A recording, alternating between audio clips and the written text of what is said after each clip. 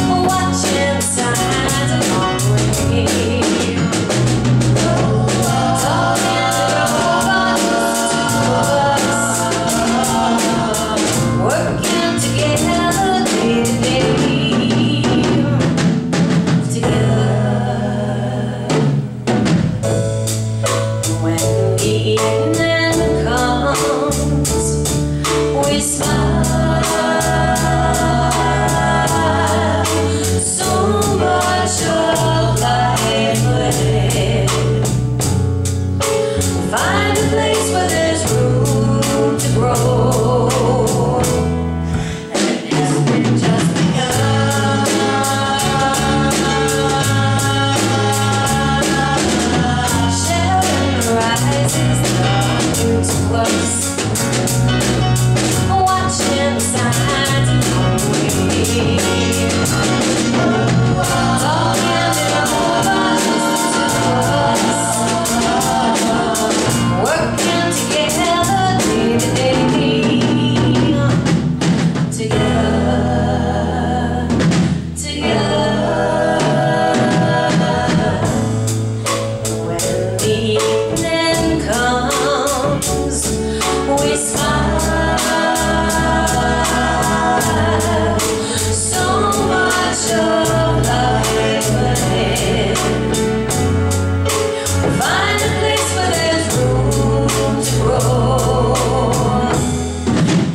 Yes, we've just begun.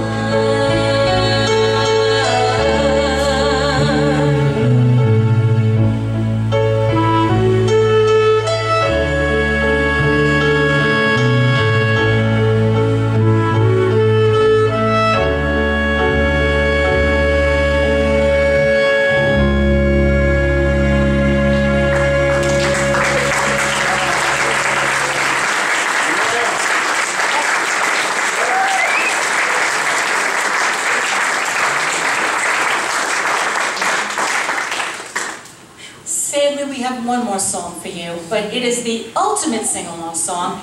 And I was just speaking with someone about Sesame Street. Christy and I have memories of this from Big Bird and Sesame Street. Um, so I'm sure you will too, once you know what it is, if you don't already. And actually, when the Carpenters played this song out live, they almost always brought a children's choir on stage to do all the la-las and the chorus. So no pressure at all, but we know you can do it. So feel free to join in. And like I said, if you don't know the words, there's plenty of la-las. Nothing like a good la-la. La-la.